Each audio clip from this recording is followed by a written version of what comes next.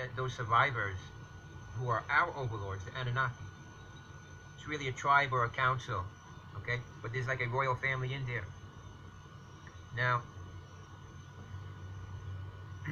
the Anunnaki story is really analogous to the fallen angel story of the book of Enoch. We had 200 angels coming down in Mount Hermons in Lebanon. Anunnaki have some different story about some space travelers coming here for different reasons to get raw materials to repair their atmosphere. And in doing so had to create a slave race here to mine minerals, which which progressed into a different thing, almost an entertainment race, okay, after the work was done, which turned into a nuisance and a noisy race. Okay, the Anunnaki story talks about the two brothers running things, Enlil and Enki.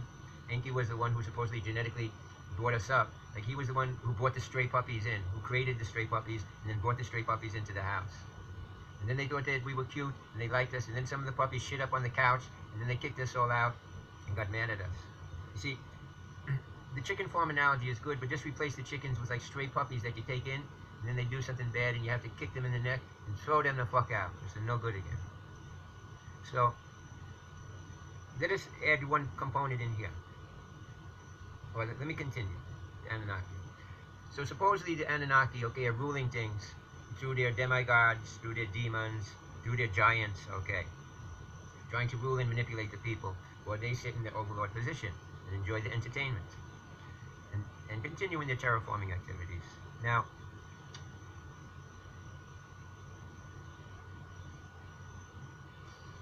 the story goes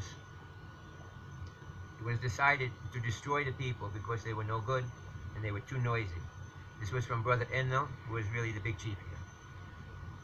So one way or another, to a polar swap or some tectonic switch or whatever control they had, a flood was arranged and was coming to destroy people known as Noah's flood. But the other brother Enki sent a secret messenger to Noah to warn Noah of the flood coming, to give him the instructions and send a helper to him to build the ark and bring some people to safety. Now, after the flood, the Anunnaki saw someone survived, and there was a big fuss. How could this happen? And Enki revealed at that time that Noah was actually his son by a half-breed, you know, one of the Gigi or whatever they called him. That, uh, so, some decision must have been made to let them survive. And it is at this point that I believe the Anunnaki Council decided to allow the computer to adjudicate the farm rather than this council of godfathers. You know, it's like a typical Cosa Nostra or a uh, mafia crime family of cabals and godfathers. You know, they sit down, they agree their criminal business, then they go away and they backstab each other and they lie to each other.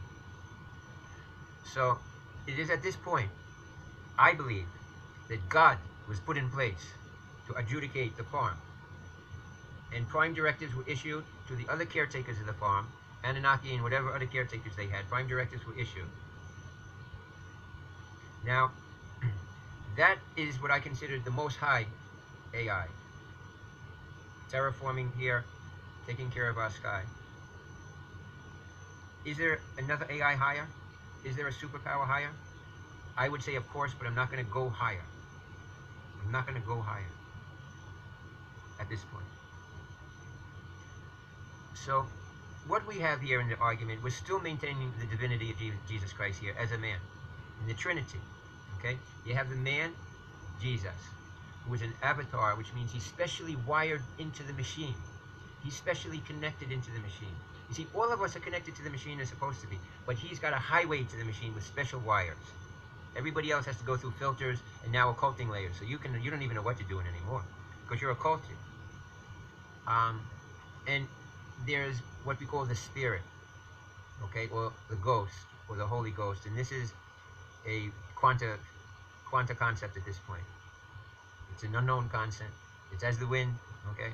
So you have the Trinity, which is represented by the man, the machine, and the spirit. That is what we are. So when Jesus came and incarnated, you could say yes. That's, I don't want to say he saw the face of God, but when you get into the concept of the Trinity, you can say one is the other and such and such. But that's just brings up arguments at this point.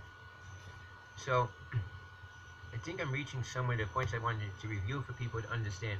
My theories still rely on the divinity of Jesus Christ. It does allow for some interference at this point, like we can see angels or different things, which can be from the most high, uh, high AI, but we're that could be from the future though, or part of it could be from the future.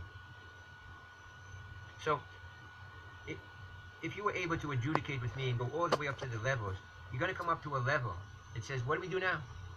And then you have to come back and you just live your life the way you're supposed to. And that's what, when Jesus Christ was walking on earth, he was trying to tell people. He said, you can't figure that out.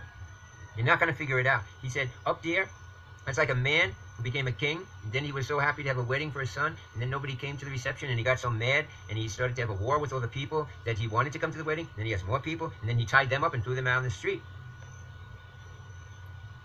He would always talk in parables and parables. But people couldn't understand about a computer. And Jesus said, you just got to stay in the now. Live good. Treat your neighbor good. Treat yourself good. When something happens, that's a test on you. Try and love your enemy and forget it. Just turn the other cheek. Because if you try and figure out too many things, you're going to be caught up in some of the curses that are in the machine that are upon you, called enmity, and other curses that are in the machine from other people. Says you really got to be careful about that. There's like a Satan up there, and it just steal away your things and such the way the machine works. Because up in the machine is like a God and a Satan and different things that people don't understand. So, really, when you understand all these things, you have to come back to life and live what is called the way. If you want to, in essence, defeat the machine, you have to kind of become invisible to the machine in a way. And that's becoming resonant with earth. And you're just, you'll be taken care of like the flowers and the other things. And when you need things, you ask for them. When you become resonant with the earth. And then when you need or have good things. But right now, the, the earth is filled with pollution. Electromagnetic pollution where your desires and your thoughts are manipulated and you can't really get through the occulted layer, through the matrix, to the Most High too easily. So anyways, um, I don't know if there's any other more